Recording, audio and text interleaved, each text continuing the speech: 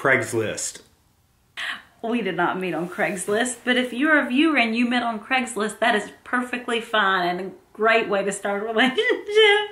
So, um, we have a lot of new followers um, that have been coming over. We are almost at 100,000 subscribers, which Good job, mama. what a milestone that is. I remember, um, nobody remembers this, Mal's earlier videos.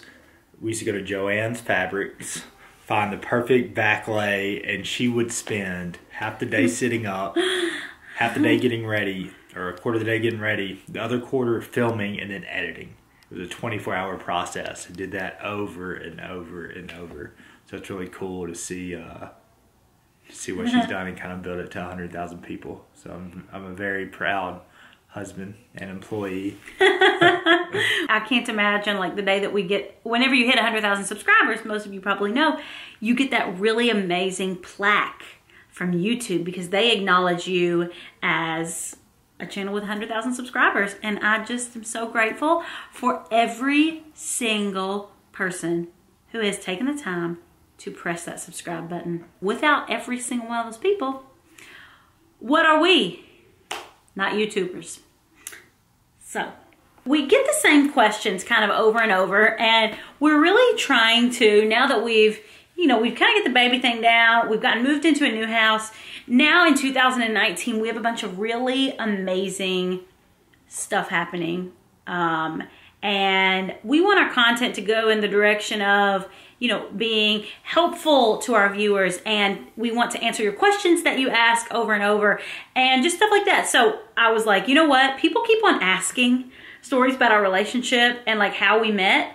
And I started thinking of when the last time we did a vlog on this was, and it was maybe three years ago, like when we got engaged. So here we are telling you the story of how we met, and we're actually coming at you from Ford's room because you see how that story ended up. yeah. Should I start it off? Okay, yeah. So I um very randomly, and we kind of mentioned it before. I used to own a valet company here in Nashville for six years. Um, I folded the company, started working for Mal, what, about a year ago. Um, so I don't do that anymore. I know we've gotten a lot of questions about that. I work full time with Mal. We um, kind of agreed it's like if we could make a good team. And I wanted to work for Mal, but actually bring value to what she does. So I learned how to edit, taught myself all that good stuff, how to film, do videos, SEO, YouTube. Um, then I was somewhat knowledgeable with contracts and all that. And so luckily, Mal, as Mal grew, I was able to kind of step back from my role in the valet company and then just eventually folded it up and came over with you full time. So she's a pretty good boss most of the time.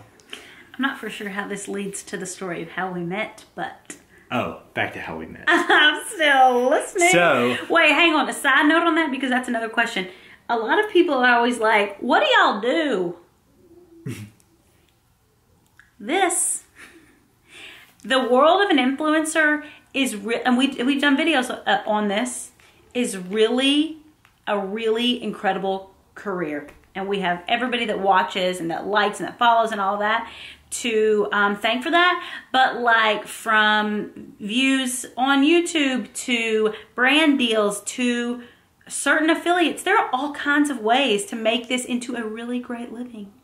And it just it's it's funny to me when people ask that question or they're like, "How did you buy that?"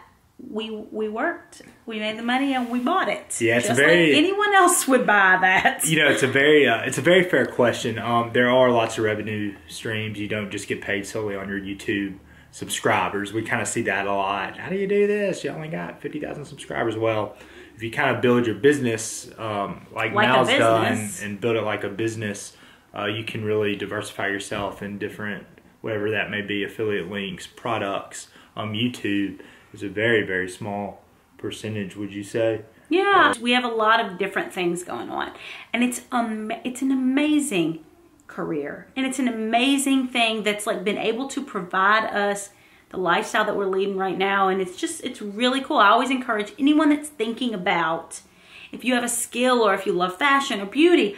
Absolutely jump in head first. It does take time and patience, and like you said, the days of Joann's fabric and the days of Nobody really sees the years like Mal was hustling and just absolutely running all over the place, taking days and days. Nobody, you, from, and that goes with any business. A lot of people you don't see what goes on behind the scenes. Um, you kind of see the You see all the good stuff. Yeah, and it you see us going to Restoration so- Hardware and buying all this furniture. And be like, how'd you buy that?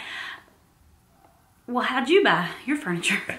I remember no, when I had my I valet saved my money yeah. and I bought it. I did. Yeah. Not my mom and dad. not like anybody outside of a circle, but w- us. yeah, I remember. Blows my mind. It was funny. I remember having my valet company. I was like, "Oh yeah, you own a valet company," but nobody saw like at 3 a.m. when I had to go down to a restaurant get cussed out by a customer because one of our guys Oh, Lord, lost his keys. days. Yeah, so it's days. uh anybody that's kind of started their own thing or doing their own thing, they um they know how much work it is and what goes on behind the scenes that nobody really sees. So now how we met. We say that to say this. Um, I randomly um, went to a little place called Fido because in the morning, all of my valets, when I first had my company in the very early stages, they wrote in the restaurant they were at, their hours, tips, all that good stuff.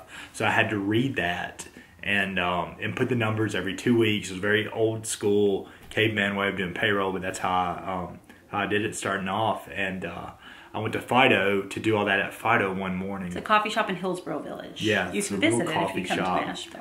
And so I walked right in the door and I looked up to my right, and there was a little blonde girl with shorts that I would say they were not fingertip length. Just sitting there enjoying her breakfast.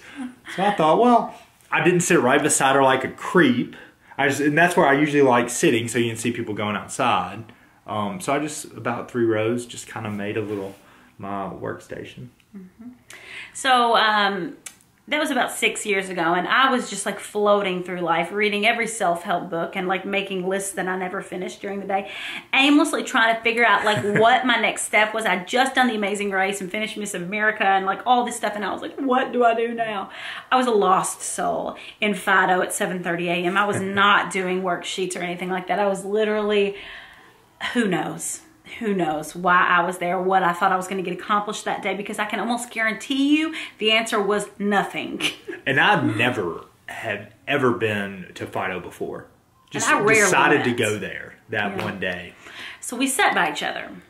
And I thought that I came after Kyle. Kyle seems to think that he. No, she was already there. Okay, whatever. Well, you were more. You were in a better state of mind than I was those days, so I'm going to believe you. And um, it's so funny, like, because no one I feel like meets these ways. Everybody's set up or they meet online. Like, it's so random to meet randomly in a coffee shop when you sit beside each other. So, the way that we started interacting, though, it was so crazy. So, a girl came up to me that I knew who was Miss Tennessee the year after I did Miss America. Her name's Nicole she walks up to me and she starts like talking to me. Is that what happened first? And I start having this conversation, just blah blah blah blah. And then like Kyle and I are just kind of like sitting there, not knowing each other. And then I sneezed, and he was like, "Bless you if that's a sneeze." And I was like, "Thank you." Because I wasn't quite sure what it was. I don't know what it was. Who knows if it was a sneeze or a cough or what? But um, and then we started talking about everything. We started talking about like our families and our jobs, and it was so random because I've only seen Kyle wear glasses once in the entire six plus years that I've known him. That was the day that he was wearing glasses, and he was writing with a pencil. Yeah, I like writing with pencils, and I couldn't read like uh, the valet. All of our valets, including myself, and I'm the worst, had horrible handwriting. So I had to like look at this paper, and I couldn't read it from far away. So I look. I guess I looked very Clark Kent.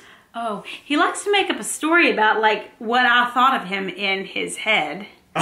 well, you obviously thought something good. Here, we- here we are in Ford's room. we were just like talking about our families and our jobs and all this random stuff and my grandpa like made made this whiskey or whatever and i was talking to him about that that was back in the days where i would talk about whiskey i don't know why i, d- I didn't really even drink whiskey i don't drink now but like back then i did drink but i didn't drink whiskey so i don't know why i'm talking to him like i'm a whiskey connoisseur I remember our first date. I took her to the Cheesecake Factory. And I love the Cheesecake Factory. I'm like burnt out on it now. And we got our cheesecake to go. And we went to Centennial Park. which is such an odd thing we, I never do things like ever been back.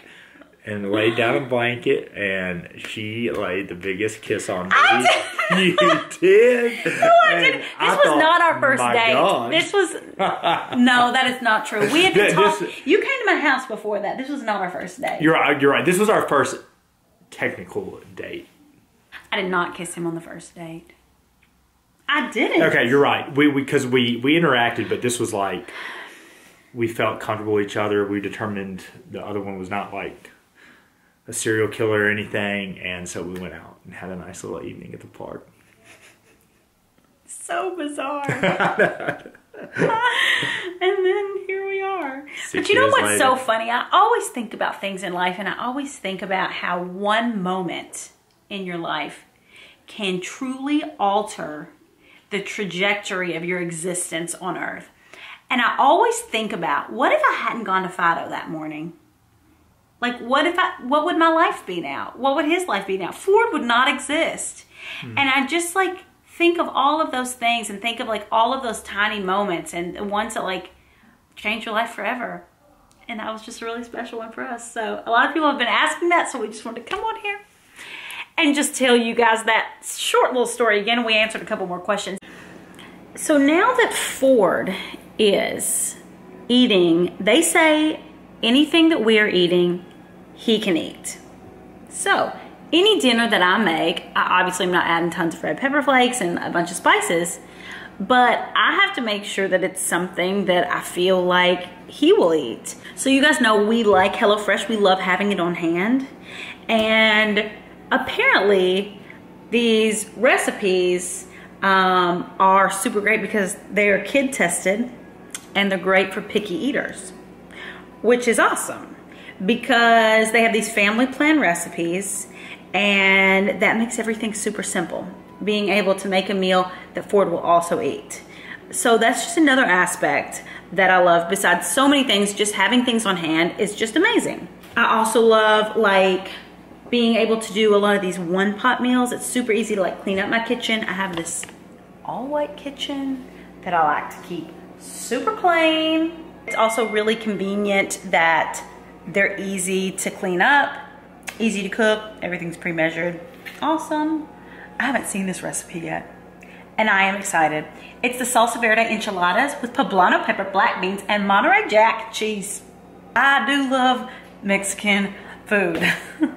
So y'all know how I declutter literally like everything in my life and I either throw it away or give it away. I'm pretty sure that I gave away all of the pans, all of the pans that will fit this recipe. So we might be making do. I really love cooking with poblano peppers. I also like stuffing these peppers with just breakfast sausage, a little bit of fennel seed, um, low-fat cream cheese, and Parmesan. Now what the heck is this for? I think this is a rogue pepper. Anyways. So I have added in the poblanos, the scallions, ooh, tomatoes, Southwest seasoning, half of the beans, and um, yeah, so I'm cooking that down. Now I'm about to add the other can of beans to this pot that has a little bit of olive oil. So if you don't know how to make refried beans, this is how you make, or this is how I've always made refried beans. It's very similar. So basically you're just gonna put those beans in there. You're gonna let them cook down a little bit. You're gonna mash them just like you'd mash potatoes or anything else you're gonna mash. Season with salt and pepper, and I always add a little bit of butter, and this recipe also calls for a little bit of butter. I just love HelloFresh too because it's become part of our routine where cooking, cooking is always something that I want to do. But at the end of a really long day, it is a little bit harder to go to the fridge and like cook something just out of nowhere. So this just um, makes it easy on those tough days like that. So this is almost done. I'm actually gonna turn this down. I love these appliances, by the way. A lot of people think that some of these subscription meals are expensive. They are not. It's actually um, super affordable. And while I'm opening these beans, um, I will tell you exactly how affordable. It is now from $6.99 per serving, which makes it America's number one meal kit. I'm adding in a few tablespoons of this, and then I'm gonna add in the beans next. Okay, I'm now gonna roll these tortillas. So I always try and use a pan. It calls for 8 by 11. Um, always use a pan that your enchiladas, or if you're making anything like this that's like a rolled thing with a filling, make sure that it's gonna touch all edges because if there's space in the pan, it kind of flattens out and all of that goodness that's supposed to be on the top kind of goes to the side, which you can always scrape it back onto the top, but if you want to be civilized. And I'm gonna spread that on the tortilla and then I'll put that filling of the poblano and the beans and the um, scallions and the tomato. I'll then roll it up, you put the seam side down, and then I'll make a little row.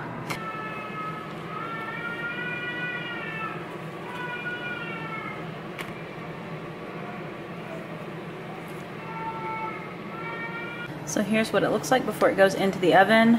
Before it started crying, so I had to run upstairs. I'm throwing this in the oven for three to five minutes. You wanna wait until this kind of bubbles over. And then I'm gonna make like a little sauce for on top while this is baking. And it looks amazing. So while it was in the oven, I threw together this little sauce. It's sour cream, some Southwest seasoning, a little bit of hot water. Uh, and I'm actually gonna add a little bit of lime in it. But yeah, that was so easy. Um, and you guys know that we just love having a, having HelloFresh as part of our, just like our go-to meals when we don't want to have to think about anything else. So I highly recommend it if you're a busy mom like me or a busy business person or a busy just anything or, or even a not busy one if you're somebody that wants to learn how to cook. So I highly recommend HelloFresh to help kickstart your 2019 and you can get $80 off with this code that I'm going to give you. It gives you eight free boxes in your first month. So just go to HelloFresh.com, enter Mallory Ervin 80 and get started. So I'm gonna go eat some enchiladas. And thanks so much for watching. Thank you to HelloFresh for sponsoring and collaborating with us on this vlog.